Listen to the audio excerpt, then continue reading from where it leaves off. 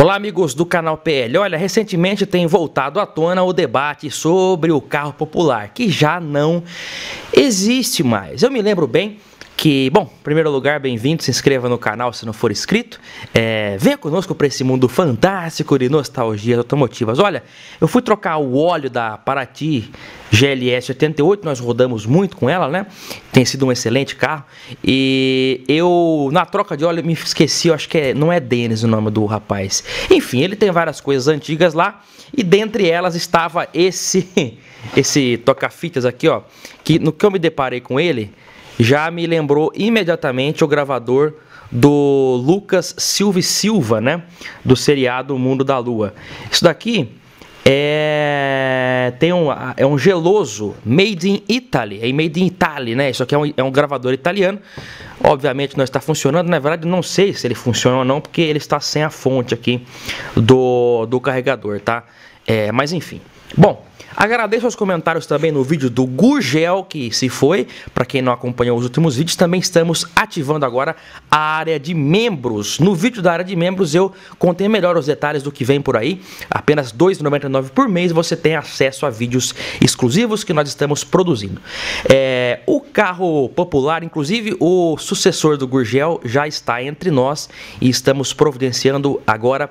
Nós daremos início à mais completa série de vídeos do canal canal de todos os tempos, a melhor série automotiva, novela para macho está chegando aqui no nosso canal. Olha, esse tema de carro popular realmente, hoje em dia não existe mais carro popular. O carro mais barato no Brasil é o Renault Kwid, Fiat Mobi, eles ficam ali na casa dos 70 mil reais, 75, né?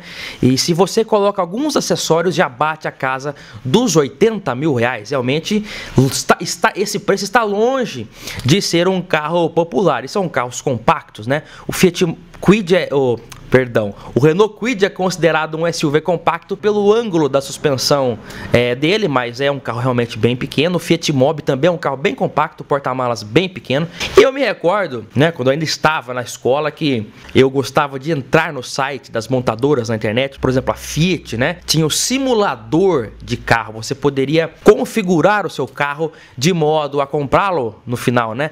E aí você entrava lá, por exemplo, no site da Fiat, como eu disse, tinha lá, você colocava selecionava, tinha todos os modelos, né? O Fiat Mille, o Uno Mille, o Fiat Uno, o aquele mais, o Fiat Novo Uno, o Palio Fire e eu gostava de configurar. Eu me lembro que o, Uno mais barato, duas portas, ele partia de 20 mil reais, né? É claro que isso há mais de 10 anos existe uma defasagem também, mas é, apesar de tudo ter ficado mais caro, naquela época os 20 mil reais eram mais acessíveis do que um carro, um carro zero é hoje, um Renault Kwid, um Fiat Mobi, né? Então realmente os carros ficaram mais caros. E um dos culpados por esse encarecimento são os componentes eletrônicos que os carros estão ganhando nos últimos tempos, né? Por exemplo, o Uno Mille teve que sair de linha junto com o Gol G4 é, Kombi ali 2013 para 2014 porque a partir dali entrou em vigor a obrigatoriedade do airbag e freio ABS nos carros. Logo, Projetos mais antigos, como o Kombi, Uno Mille, ficaram inviáveis para as montadoras continuarem produzindo-os, né? Então, os carros mais simples e mais baratos foram saindo de linha, porque ano após ano, isso tende a continuar, vai se colocando cada vez mais componentes eletrônicos no carro, é, visando o quê? Segurança. Eles querem cada vez mais. Segurança, segurança, segurança, segurança, segurança. É ABS, é airbag, é coisa de freio, é cinto atrás. É, é, são cada vez mais componentes de segurança no carro. E tudo isso encarece o projeto. Isso encarece o projeto. Aí é polêmico, vai a pergunta: você abriria a mão de, desses itens de segurança que surgiram nos últimos anos para poder comprar um carro mais barato? Vou refazer a pergunta: você compraria um Uno Mille, aquele lá de 2013, hoje, zero quilômetro, se ele custasse na faixa dos 30 até uns 38 mil reais? Olha, eu vou dizer por mim, eu acho que muita gente compraria um Uno Mille hoje, zero quilômetro. Eu acho que esse carro poderia estar perfeitamente sendo vendido hoje. Ah, mas você está sendo retrógrado, você quer que o trânsito seja nos moldes indianos, né? Pessoal, o carro hoje, com, todos, com todas essas parafernálias eletrônicas que tem, fica muito caro. É claro que também não é só isso, você tem também uma alta carga tributária, é, porque é toda a cadeia, né? E aí estuda-se, ah, ninguém consegue pagar 90 mil reais num carro zero quilômetro. Então, vocês vão fazer um carro popular? Vocês vão ter que abrir mão, cada um vai ter que abrir mão um pouco. A fábrica vai ter que abrir mão de um pouco, a rede de concessionárias vai ter que abrir mão um pouco, o governo vai ter que abrir mão também de alguns impostos, não vai ter jeito, para poder chegar num valor mais baixo.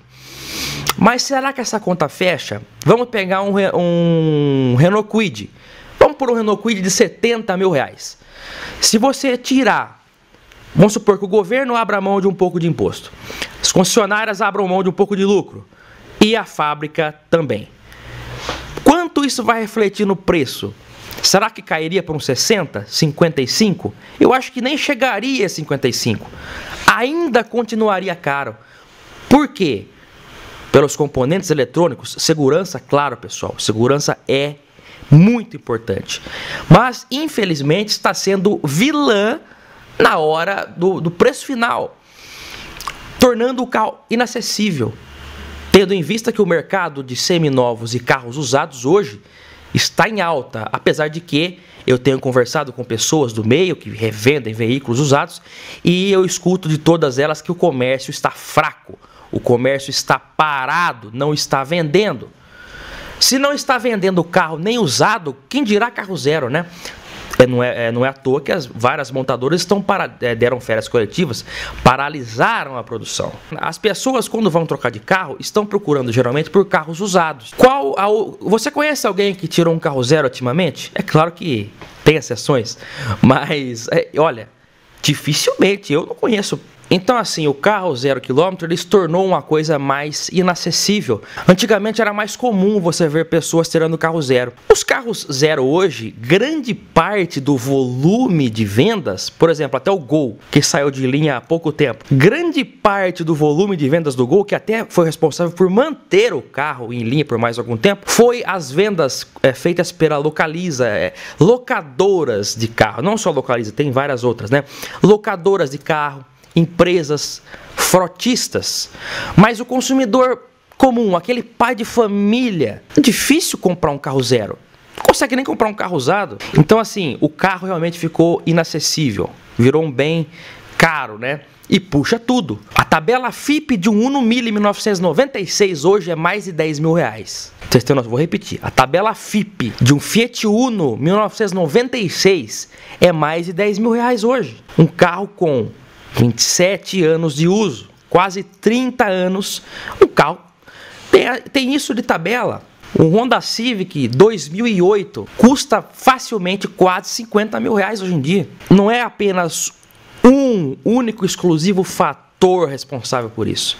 São vários fatores. Como eu acabei de dizer, carga tributária, margem de lucro abusiva, às vezes por parte de concessionárias, componentes eletrônicos que encarecem a produção. Às vezes não é nem porque a fábrica quer. Se ela, ela tem que repassar esse, esse, esse custo. Vocês acham que é barato você colocar um, um sistema de freio, não sei das quantas, um ABS duplo, ABS não sei, ali, aqui, todas essas parafernálias. Eu tô por fora realmente dessas coisas mais recentes, mas eu sei que cada vez mais estão empurrando sistemas é, de segurança nos carros que estão encarecendo o projeto. E eu garanto que a maioria das pessoas abririam mão desses componentes se fosse para baratear. Se fosse opcional, se fosse opcional, eu duvido que a maioria das pessoas iriam querer e pagar mais para ter. É que está sendo empurrado isso daí, entendeu? Então, eu vou repetir, a segurança é e sempre vai ser primordial, importante, mas nesse caso está sendo vilã. Uma das, não única exclusivamente, uma das responsáveis por um custo alto nos carros. Também, mais no nosso segmento, carros antigos também têm o seu valor estratosférico. Cada um pede o que quer, ninguém mais respeita a tabela FIP. Para que, que tem a tabela FIP então? Se ninguém respeita mais. Eu vi essa semana, inclusive, um Chevrolet Astra 2001 sedã anunciado por R$ 17.500. A tabela FIP desse carro é 16 mil. Está acima.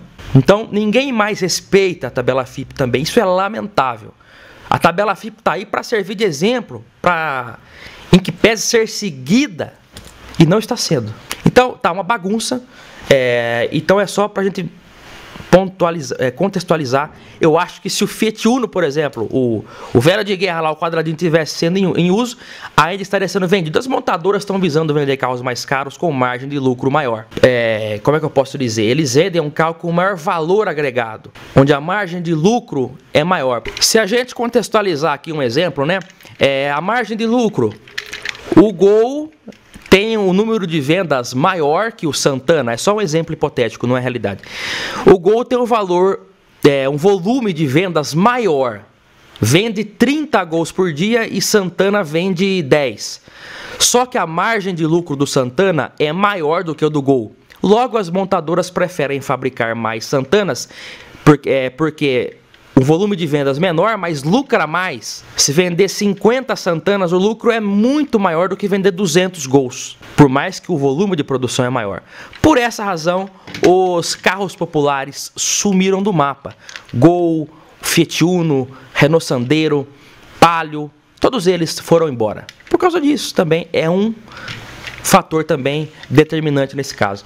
Bom, se inscreva no canal se não for inscrito, muita novidade chegando, tá? Vai vir uma série completa de um novo projeto no canal, que eu ainda não posso revelar, porque nós estamos acertando os primeiros detalhes, mas eu garanto que vai ser bem legal. É um carro que todo mundo gosta, ou pelo menos quase todo mundo, e eu aguardo vocês no próximo vídeo aqui no canal PL. Um grande abraço e até mais. Tchau!